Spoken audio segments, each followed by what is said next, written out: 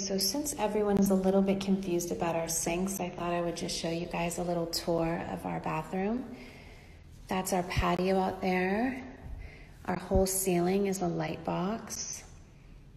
Bathtub that fits all of our kids. And our shower.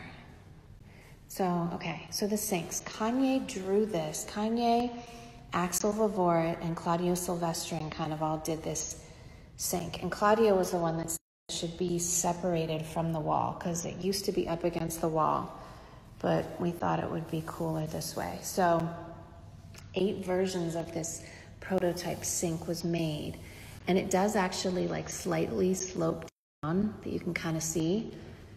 And there's a slit for the water and it goes in. You can put it on as high pressure as you want and no backsplash will come up. Okay, something else I think is interesting is our light switches. They are just three little buttons and they go on, dim, and off. And there's no box around it. I think is really cool and more visually appealing.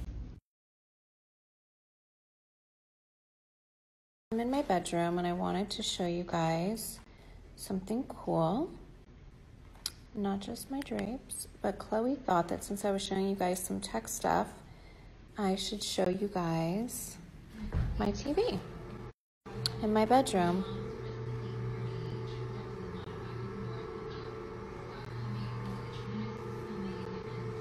Pretty cool, right, Chloe? She wanted me to show you guys this, guys. Oh, my favorite person on the screen. There she is.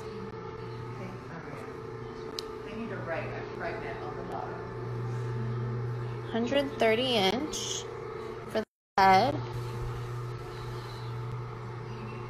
And it comes up and down. Looks like the floor. You can stand on top of it. So cool. And if you don't want it, then